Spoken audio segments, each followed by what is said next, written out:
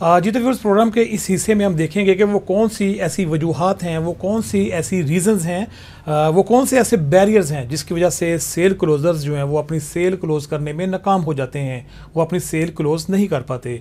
जी तो व्यूर्स जैसा कि मैं पहले भी डिस्कस कर चुका हूँ कि टेलिंग इज़ नॉट सेलिंग कि सिर्फ़ बोलना ही सेल्स नहीं है। क्योंकि बेसिकली हम में से जो अक्सर सेल पीपल हैं वो क्या करते हैं कि वो अपनी प्रोडक्ट दिखा देते हैं या अपनी प्रोडक्ट विज़िट करवा देते हैं। उसके बाद वो अपनी प्रोडक्ट के बारे में मुकम्मल इंफॉर्मेशन देने के बाद जो ऑब्जेक्शंस आते हैं वो ऑब्जेक्शंस को भी अच्छे तरीके से डील कर लेते हैं। आ, लेकिन उसके बाद फिर वो सेल क्लोज़ करने में नाकाम रहते हैं। तो उसकी जो सबसे बड़ी वजह है उसमें जो नंबर वन रीज़न है वो ये है कि they never attempt to close कि वो सेल क्लोज करने की कोशिश ही नहीं करते, वो अटैम्प ही नहीं करते। वो कहते हैं कि इट इज़ अनफ हमने अपनी प्रोडक्ट को दिखा दी, हमने प्रोडक्ट के बारे में ब्रीफिंग दे दी, इसके बारे में जो ऑब्जेक्शंस थे, उसके बारे में मुकम्मल ब्रीफ कर दिया तो ठीक है, अब लेना होगा तो ले लेंगे, अगर नहीं लेना होगा तो उनकी मर्ज़ी। अगर ये हमारा बिहेवियर होगा तो बिल्कुल हम सेल क्लोज नहीं कर पाते, फिर शाजो नाजली कुछ सेल हो जाती है। लेकिन उसमें फिर हम नाइन्टी परसेंट जो लोग हैं, वो नाकाम रहते हैं। क्योंकि कहते हैं this is single biggest reason कि अटैम्प्ट ना करना, कहना ना। क्योंकि देखें, अगर आप क्रिकेट खेल रहे हैं, अगर आप बैट को घुमाते ही नहीं तो आपके शॉट लगने के चांसेस कम क्या? बिल्कुल नहीं होंगे। वो बिल्कुल मुमकिन ही नहीं होगा, क्योंकि अगर आप बैट घुमाएँगे तो शॉट लगने के चांसेस होंगे ना। तो इसी तरह हम सेल्स में अटैम्प ही नहीं करते। उनको कहते नहीं कि आप खरीदें। हम क्लोजिंग क्वेश्चन नहीं करते, जो कि हमारे बाद के लेक्चर्स में आएँगे। क्लोजिंग सेल क्लोजिंग स्ट्रेटजीज और सेल क्लोजिंग क्वेश्चन जिसकी वजह से हम सेल क्लोज कर पाते हैं, जिसकी वजह से डील डन होती है, हम उस तरफ़ जाते नहीं। हम कहते नहीं कि जनाब आप खरीदेंगे या नहीं खरीदेंगे। आप कौन सी प्रोडक्ट खरीदेंगे, ये वाली प्रोडक्ट खरीदेंगे या ये वाली प्रोडक्ट खरीदेंगे, या आपका पेमेंट शेड्यूल क्या है तो हम उनको कहते ही नहीं खरीदने के लिए। बेसिकली अक्सर लोग ये क्यों टैंप नहीं करते? वो इसलिए नहीं करते कि वो घबराते हैं कि अगर हमने उनको कह दिया कि आप खरीदें, उन्होंने नो कर दिया तो? वो नो क्यों क्यों घबराते हैं? क्योंकि वो नो सुनने को अगर मिल गया तो। हमने इतनी मेहनत की है। ज़ाहिर बात है कि आपने क्लाइंट के साथ अगर टाइम स्पेंड किया, अगर आपका जो कोई भी बिज़नेस है, चाहे आप एक रिटेलर हैं, चाहे होलसेलर हैं या रियल स्टेट के काम से वाबस्ता हैं कि हमने अपने क्लाइंट को इंगेज किया, उसको विज़िट करवाया, उसको टेलीफोन कॉल्स की, उसके ऊपर आपकी कुछ इन्वेस्टमेंट आई होगी, या आपका टाइम उसके ऊपर इन्वेस्ट हुआ है तो आप ये कहते हैं, अगर मैंने उससे पूछ लिया कि भाई आप खरीदेंगे या नहीं, या आप खरीद रहे हैं, या लाएँ, हम आपकी इन्वाइस बनाते हैं, अगर मैंने ऐसा क्वेश्चन कर दिया, अगर उसने इनकार कर दिया तो मेरी तो सारी मेहनत गई। तो इसलिए वो इनकार के डर से वो अटैम्प्ट करने की कोशिश ही नहीं करते। तो इसलिए यहाँ पे मैं ये कहना चाहूँगा कि आप अटैम्प्ट करने की कोशिश करें फेल होने के लिए तैयार रहें। नाकाम होने के लिए तैयार रहें, क्योंकि जितनी बार आप कोशिश करेंगे, जितनी ट्राई ज़्यादा करेंगे, जितनी कोशिशें ज़्यादा करेंगे, जितनी दफ़ा आपको नो सुनने को ज़्यादा मिलेगा तो फिर आपके अंदर से ये खौफ ख़त्म हो जाएगा। बल्कि इसमें ब्राइन ट्रेसी ये कहते हैं कि कम अज़ कम आप जब सेल का काम स्टार्ट करते हैं तो आप सौ बंदों को फ़ोन करें और अपने माइंड में ये रख लें कि भी इन्होंने हाँ नहीं करना, मैंने इनका नो सुनना है। ठीक है ना? आप हर एक क्लाइंट को फ़ोन करें, उसको प्रेजेंटेशन दें, उसको अपनी प्रोडक्ट के बारे में बताएँ, उसको सेल क्लोजिंग करने की कोशिश करें और आखिर में अटैम्प करें कि जी सर आप हमारी चीज़ खरीद रहे हैं, अगर वो नो कहते हैं तो ठीक है, आप जहनी तौर पर तैयार नहीं कि मेरे नो सुनने हैं। तो इस तरह फिर क्या होगा कि आपके कॉन्फिडेंस में इजाफा होगा और आपका जो खौफ है नो सुनने का, वो यकीन ख़त्म होगा।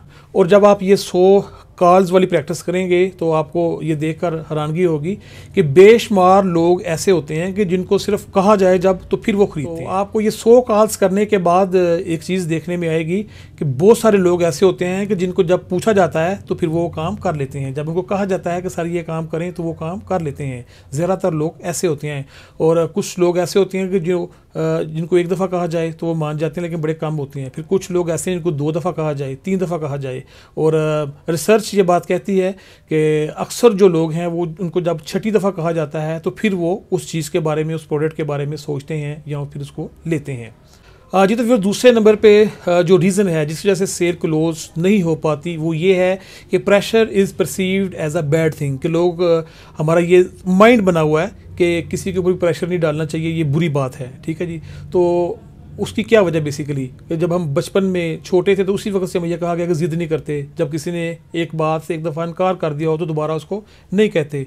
तो ये बार बार कहना असरार करना ये गलत चीज़ें हैं ये इल मैनर्ड हैं ये रूड हैं ये नॉट अप्रोप्रिएट है। तो बेसिकली हमें कहना चाहिए बार बार कहना चाहिए। आ, लेकिन ये है कि अखलाकी तौर पे, अखलाकी दायरे के अंदर रहते हुए हमें गैर अखलाकी तौर पर नहीं कहना चाहिए, लेकिन बार बार पूछना चाहिए।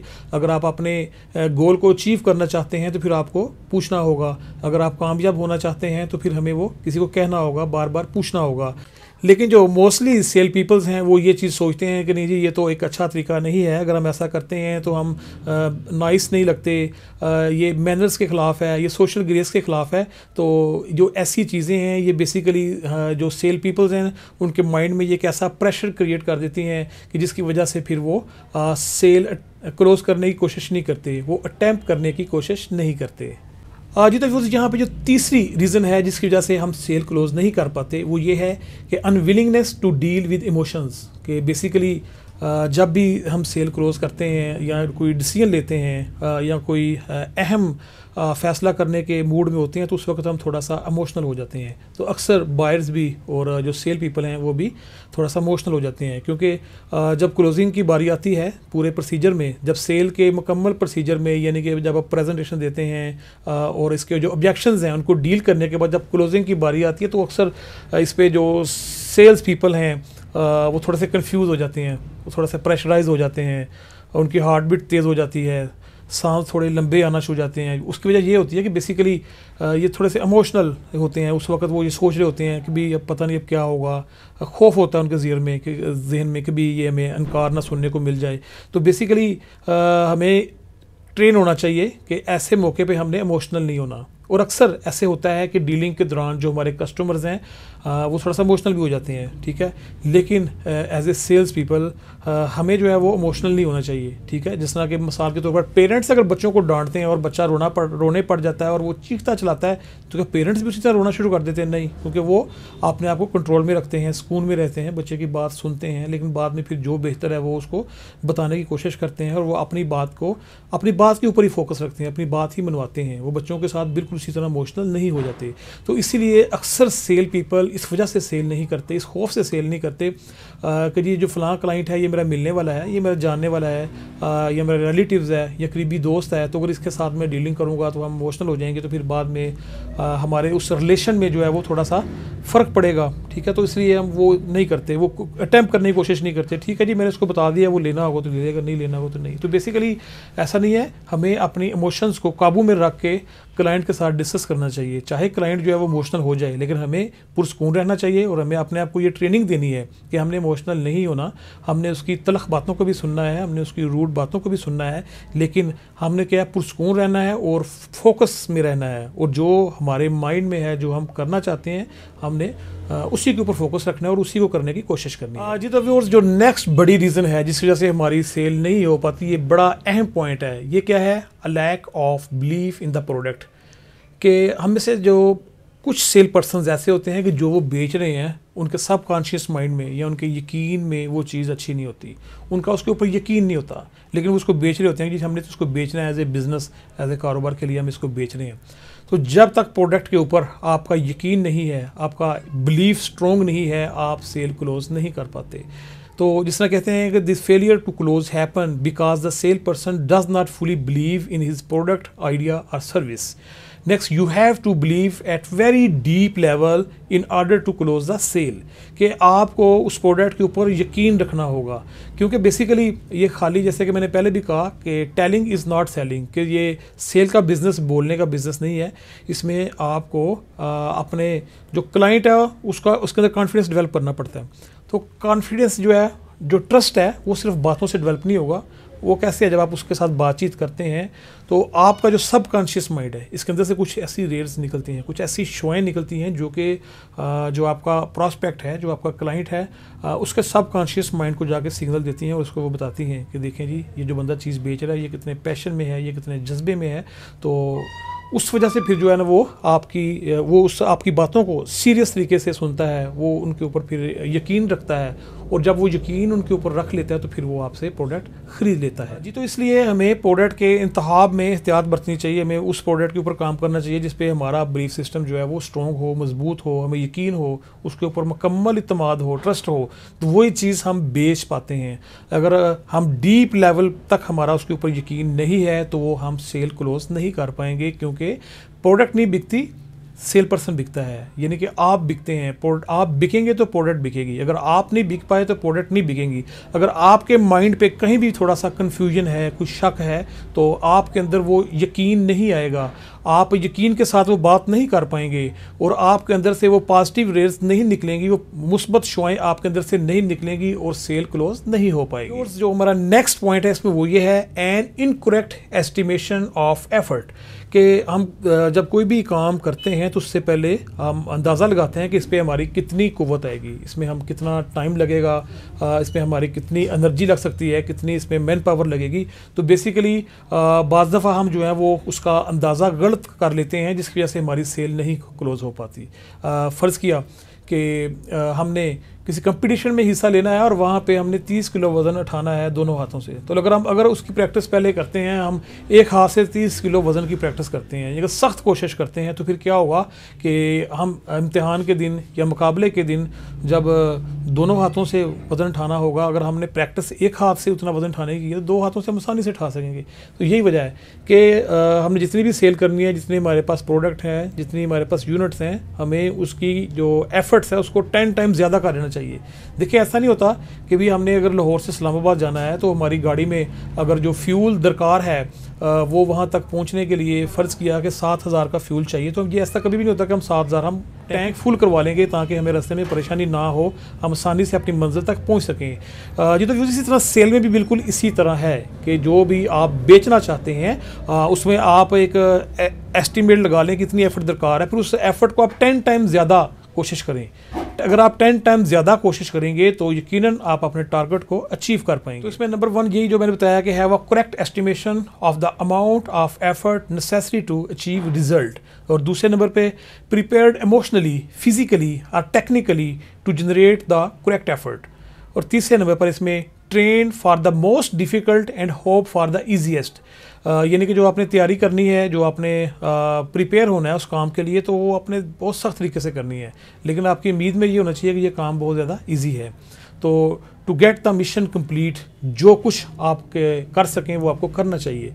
जैसे कि एक बहुत ही मरूफ बिजनेसमैन हैं और सेल्स कोच हैं डेव खानी तो उनकी बुक में पढ़ा, वो कहते हैं, जी, मैं पूरी दुनिया में ट्रेनिंग्स देने चाहता हूँ तो मैं जहाँ भी ट्रेनिंग्स देने चाहता हूँ तो अक्सर लोग मुझसे ये सवाल करते हैं कि, सर, अपने टारगेट को अचीव करने के लिए कौन से तरीके इस्तेमाल करना चाहिए?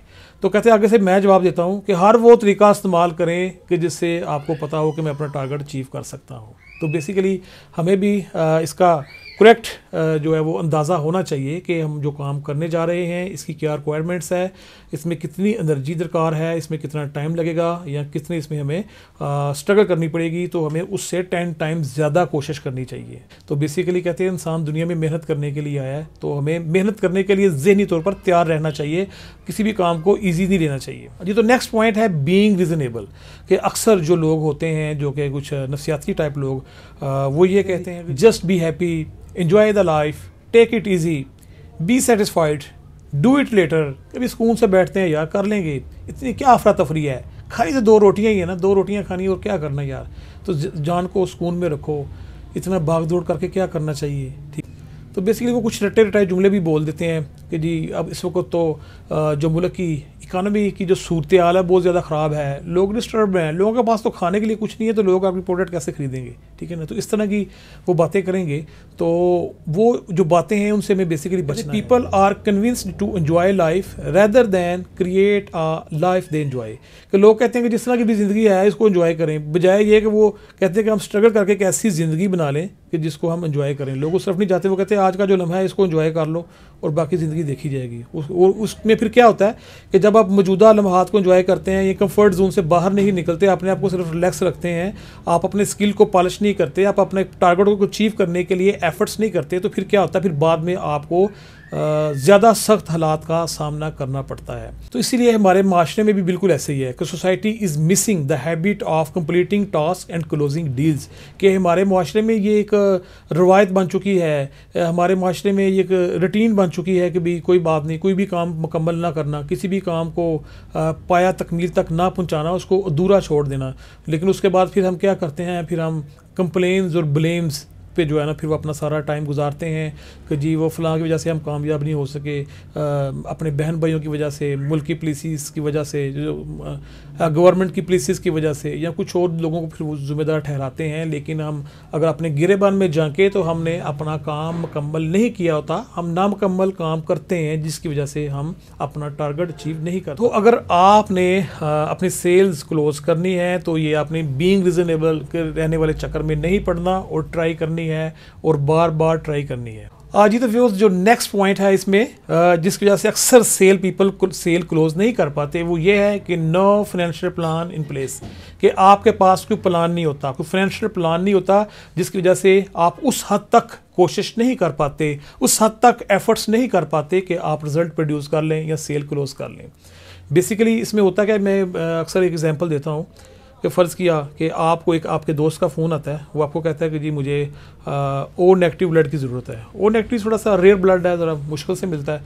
तो आप कहते अच्छा जी मैं पता करता हूँ। आप अगर उसके साथ मुखलस हैं तो फिर भी आप दो तीन बंदों को फ़ोन करेंगे, यार ओ नेगेटिव ब्लड है। वो कहेंगे, जी नहीं है। तो आप उसको, दोस्त को जवाब दे देंगे कि, सर, मैंने वो कोशिश की है, मुझे नहीं मिला। बहरहाल दोबारा लोगों के साथ रबते में हूँ। जैसे भी अच्छी इन्फॉर्मेशन आती है तो मैं आपको बताता हूँ। लेकिन बेसिकली अगर खुदा ना खास्ता आपको खुद उस ब्लड की ज़रूरत पड़ गई है। और नेगेटिव ब्लड की अगर आपको ज़रूरत खुद पड़ गई है कि आपका कोई प्यारा आपकी कोई फैमिली से आपकी वालदा आपके बच्चों में से खुदा ना खास्ता कोई हॉस्पिटल में है। और डॉक्टर आपको आ, उसमें डेड लाइन दे देता है कि भी तीन घंटे के अंदर अगर ब्लड ले आओगे तो ये आपका जो अज़ीज़ है, ये सर्वाइव कर पाएगा। तो आप क्या करेंगे? आप यकीनन सर दर्द की बाजी लगा देंगे। आप तीन घंटे में एक बोतल क्या दस बंदों को ला के लाइन में खड़ा कर देंगे। क्यों? क्योंकि आपके पास पीछे रीज़न है कि मेरे पास कोई ऑप्शन नहीं है। आप भागेंगे, आप एक दोस्त को फ़ोन करेंगे, दूसरे को करेंगे, तीसरे को करेंगे बार बार ट्राई करेंगे जिस दोस्त के साथ आप नहीं बोल रहे, उसके साथ आपका डेड लाख चल रहा है, आप उसके उसको भी फ़ोन करेंगे। यार, ये मैं प्रॉब्लम में हूँ तो कोशिश करोगे ये मुझे चाहिए। आप मुख्तफ स्कूल कॉलेज की यूनियन तक चले जाएँगे। मुख्तफ ब्लड बैंकों तक रसाई हासिल करेंगे और एंड में आप जो है वो कामयाब हो जाएँगे। तो क्योंकि आपके पास रीज़न है और आपको हर सूरत ये करना है। अगर आप नहीं करेंगे तो इसके जो नतज हैं वो ख़तरनाक होंगे। तो इसलिए आप हर मुमकिन कोशिश करेंगे और उस नामुमकिन काम को मुमकिन बना देंगे। कि जो पहले किसी ने आपसे कहा, उस वक्त क्योंकि वजह इतनी सीरियस नहीं थी और आपने उस तरह की कोशिश नहीं की। लेकिन जब वजह आपके सामने है और वजह मज़बूत है तो फिर आप कोशिश करेंगे। और आपकी कोशिश का लेवल कुछ और होगा, इसी तरह अगर सेल में भी आपको पता होगा कि मैंने इतना फ़ंड क्रिएट करना है, मुझे इतने पैसे मिलने हैं कि मैंने उससे अपनी ये गाड़ी लेनी है, या अपनी वालदा को, वालद को हज करवाना है, या आपकी फैमिली का कोई और अहम उसमें कोई टास्क है जो अचीव करना है, किसी का आपने ट्रीटमेंट करवाना है, या आपने अपना घर बनाना है, कोई भी आपका प्लान है, और उस प्लान के मुताबिक आपको इतनी अमाउंट दरकार है, अगर वो आपने तय किया हुआ है, अगर आपके पास ये फाइनेंशियल प्लान रिटर्न और आपके माइंड में एग्जैक्ट मौजूद होगा तो फिर आपकी कोशिश का अंदाज ही कुछ और होगा, और फिर सेल क्लोजिंग के लिए आप हर मुमकिन हद तक सर दर्द की बाजी लगा देंगे, फिर आप बींग रिजनेबल के चक्कर में नहीं पड़ेंगे। तो इसलिए आपके पास एक वाजिया फिनेंशियल प्लान होना चाहिए। अगर जिनके पास ये वाजिया प्लान नहीं होता, फिर वो क्या होता है? वो अपने टास्क पे काम नहीं कर रहे थे वो किसी और के टास्क पे काम कर रहे होते हैं। वो किसी और को अमीर करने के लिए दिन रात काम कर रहे होते हैं, या फिर सिर्फ़ वो वापडा के लिए काम कर रहे होते हैं, यानी कि जो अपने घर के बिल्स अदा करने हैं, उतना कमा लिया, यार घर के बिल्स देने हैं। बिल्स के लिए, वासा के लिए, अपने मकान के रेंट के लिए, या अपनी गाड़ी की जो इंस्टॉलमेंट है, उसके लिए वो काम कर रहे होते हैं, वो अपने लिए, अपनी फैमिली के लिए या अपने बच्चों के मुस्तबिल के लिए वो काम नहीं कर रहे होते। तो लिहाजा आपके पास एक वाजिया प्लान होना चाहिए जिसके ऊपर, वो फिर जो प्लान क्या आता है फिर आपको मोटिवेट करता है, वो आपको मोटिवेट करता रहता है और फिर आपको स्ट्रगल करने पर मजबूर करता है, फिर वो आपको बार बार अटैम्प्ट करने पर मजबूर करेगा और इस तरह आप सेल क्लोज कर पाएँगे। इंटरेस्टिंग है कि handling objection that are only complaints अक्सर ऐसे होता है, जैसे कि मैं अपने बिज़नेस से आपको एग्ज़ाम्पल देता हूँ कि मैं रियल स्टेट का बिज़नेस कर रहा हूँ तो अक्सर जब मेरे टीम मेंबर्स कस्टमर्स को अपनी साइट विज़िट करवाने के लिए लेके जाते हैं तो आगे जाके जब कस्टमर कहता है ये आपकी जगह तो बहुत दूर है, यहीं तो रेट बहुत ज़्यादा है। तो उसके बाद क्या होता है कि वो जो सेल पर्सन होते हैं, जो कि वेल ट्रेंड नहीं होते, वो ये कहते हैं अच्छा इसने तो ऑब्जेक्शन लगा दिया। फिर उसके बाद वो अपने माइंड में ये चीज़ सोच लेते हैं कि इसको ये जगह पसंद नहीं है, इसने ये जगह नहीं लेनी। लिहाजा फिर उसके ऊपर वो एफर्ट्स नहीं करेंगे, उसको मज़ीद यानी कि सेल्स क्वेश्चन और जो सेल टेक्निक्स वगैरह, वो नहीं लगाते कि इसने तो ये जगह रिजेक्ट कर दी है। तो बेसिकली ये जो कुछ ऐसे ऑब्जेक्शन होते हैं जो कि ऑब्जेक्शन नहीं होते बेसिकली बेसिकली बेसिकली वो क्या होते हैं? वो कमेंट्स होते हैं। या वो सिर्फ़ कंप्लेन्स होती हैं कि जो कि आम लोग करते हैं और तमाम मौके पे ऐसी बातें होती हैं, जैसा कि अक्सर लोग कहते हैं अच्छा ये आज मौसम जो है वो ठीक नहीं है। हालाँकि उनका मौसम के साथ कोई लेना देना नहीं होता। ठीक है जी, आज मौसम बहुत सख्त है। तो ये जस्ट वैसे लोग बातें करते हैं कीमत बहुत ज़्यादा तो लिहाजा आपको इस चीज़ का अंदाज़ा लगाना चाहिए पहले कि ये वाकई ही ऑब्जेक्शन है या कमेंट्स हैं या कंप्लेंट्स हैं ठीक है? वो किसी और की बात आपसे कर रहे हैं या वो जर्नल उनकी आदत है ऐसे बातें करना तो आपको इन चीज़ों को देखना होगा कि अक्सर जो 90 परसेंट जो ऑब्जेक्शन होते हैं बेसिकली वो ऑब्जेक्शन नहीं होते। तो लिहाजा हमें इन चीज़ों से फेडअप नहीं होना चाहिए और उनको ऑब्जेक्शन कंसिडर नहीं करना चाहिए और अपने काम के ऊपर उसी तरह हमें तवज्जो देनी चाहिए। जैसा कि मेरे पास कुछ ऐसे लोग थे मेरी टीम में कि जो दो साल तक सिर्फ़ इसी तरह के जो कमेंट्स हैं उनकी वजह से फिर वो आ, उनकी डिटर्मिनेशन जो है वो कम हो जाती थी और वो सेल क्लोज नहीं कर पाते थे। लेकिन जब हमने ये सीखा और हमने उनको सिखाया कि बेसिकली ये ऑब्जेक्शन ऑब्जेक्शन नहीं होते तो उसके बाद फिर उनके रिज़ल्ट में जो है वो बहुत ज़्यादा फ़र्क आया। जी तो व्यूज़ यहाँ पे जो सेकंड लास्ट बैरियर है सेल ना होने की जो रीज़न है वो ये है कि शॉर्टेज ऑफ़ क्लोजिंग मटेरियल कि हमें से अक्सर जो सेल्स पीपल हैं उनके पास क्लोजिंग मटेरियल नहीं होता। तो due to a lack of successful techniques and closing material sale people are unable to persist in the close के जब क्लोजिंग मटीरियल ना होने की वजह से और सेल क्लोजिंग टेक्निक्स ना होने की वजह से फिर वो असरार नहीं कर पाते। नहीं कर पाते जी तो व्यूज़ मैं बताता चलूँ आपको कि ये जो ग्रेट सेल पीपल होते हैं ये बाई बर्थ नहीं होते। हम बाज़ दफ़ा अपने इर्द गिर्द देखते हैं जी, फलाना बंदा बड़ी अच्छी सेल कर लेते हैं, उसके पास खुदा दास लाते हैं। तो बेसिकली अल्लाह ताला ने हर बंदे को सलाहितों से नवाजा है। तो आप इस दुनिया में भी आके सीख सकते हैं। ये जितनी भी स्ट्रेटजीज़ हैं ये आप सीख के ये अप्लाई करके इनकी बार बार प्रैक्टिस करने के बाद जो है वो आप भी एक अच्छे सेल पर्सन बन सकते हैं। और जो अच्छे सेल पर्सन हैं उनके पास ये तमाम हथियार होते हैं जो कि क्लोजिंग के वक्त चाहिए होते हैं। उनके पास इन हथियारों में क्या आ जाता है? बेसिकली कुछ आपकी आ, कुछ क्लोजिंग मटीरियल हो गया आपका स्टेशनरी रसीद बुक्स वगैरह, और उसके बाद कुछ क्लोजिंग क्वेश्चंस ठीक है? वो जो कि हम अब आने वाले लेक्चर्स में सीखेंगे, वो कौन सी ऐसी स्ट्रेटजीज़ हैं, वो कौन सी ऐसे सेल्स क्वेश्चंस हैं, जो कि जादुई असर रखते हैं डील को क्लोज करने में।